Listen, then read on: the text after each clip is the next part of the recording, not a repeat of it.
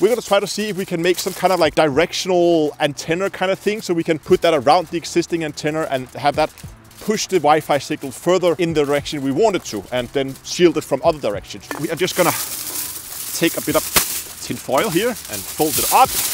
And then my idea was just, you know, kind of like, I don't know, like fold it around a water bottle like so. And I know this should be a parabola and not a half circle. Realistically, I don't give this very good chances. So now I'm gonna put this up around my Wi-Fi antenna something like that. Make sure it's nice and open in the direction we want the signal. And I just want to run a very quick test here. I should probably say that I know nothing about these kind of things. So I'm just basically making things up as we go and try different things and see if it works. Signal wise, hmm, I don't know, it's minus 60 now. I actually think there is a slight improvement.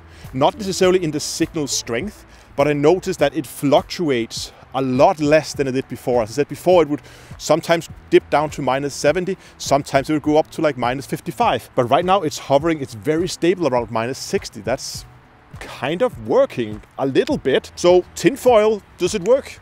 Yeah, kind of.